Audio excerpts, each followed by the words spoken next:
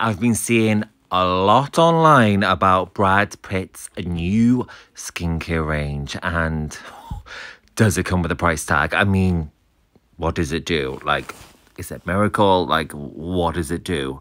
And I have to say that this product here is $385. I mean, we're on a budget. Like, we can't be affording that. That's just crazy. I mean, Brad, like, just, yeah, what are you thinking? I mean, if I got even got sent these, I would not do a review because I love a good budget. I love a good skin hack and I really don't think this product's for me. And if you really are going to buy it, look into the ingredients and making sure you are going to use that product. Just don't buy it because you said you got it. Make sure you use it and let me know if you do because I would never use it.